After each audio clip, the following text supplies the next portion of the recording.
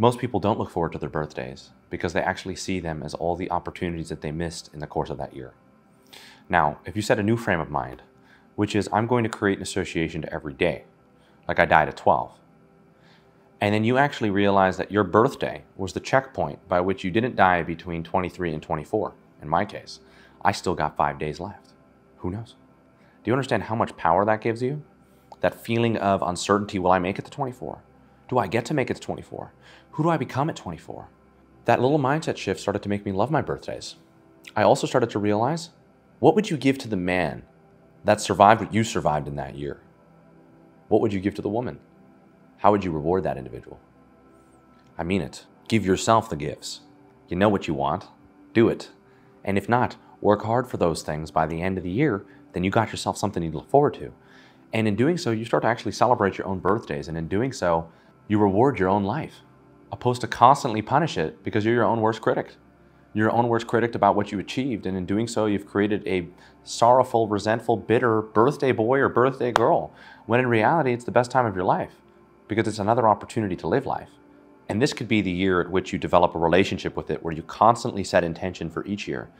The birthdays are the best part you can have. I know a lot of people would rather just constantly exist in dissonance. I just, I just woke up today, it's another day. It's not just another day, it's your life. And it's a very important day. It was the day that you were actually brought here. Now, a lot of the time people don't want to run diagnostics on their shitty cars. If you got to service your oil, service your oil. But you're going to have those checkups so that you can really see the problems and the blessings. A lot of people don't want to see those problems. A lot of people want to disassociate from it. But there's something so liberating about the truth. It's the greatest gift that you could be given on your birthday. Do you understand that you could drink, you could celebrate, that you could laugh, knowing that you got the answers for 24, knowing that you got the answers for 51, knowing that you are going to set an intention, because every day of your life is important.